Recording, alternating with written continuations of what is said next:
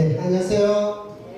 어머니, 어머니 잘 지내셨습니까? 아, 네, 또 우리 어, 강사님이 부득이하게 또 수술을 한번 받는 바람에 핑계로 제가 또 이렇게 쫓아왔습니다.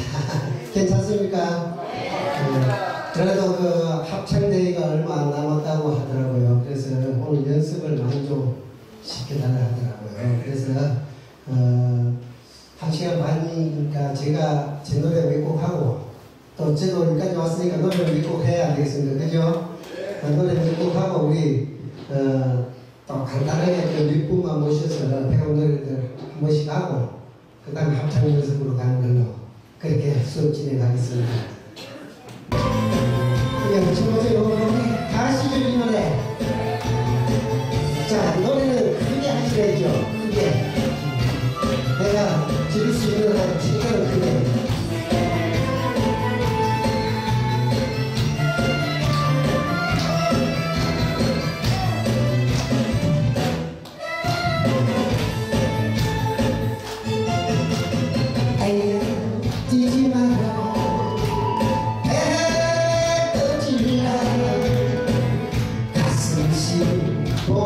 Por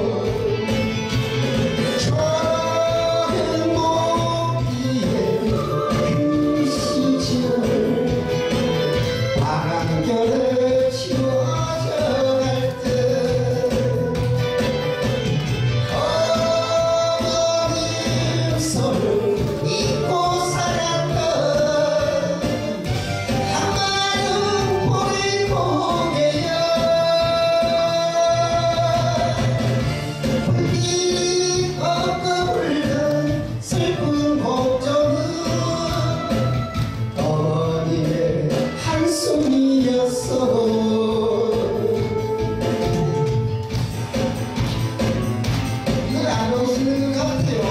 목소리 하나도 안 들려. 안녕하세요.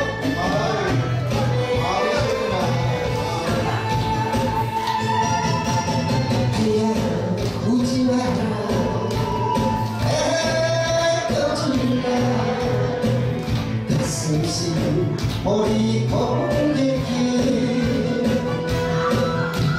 주인배 잡고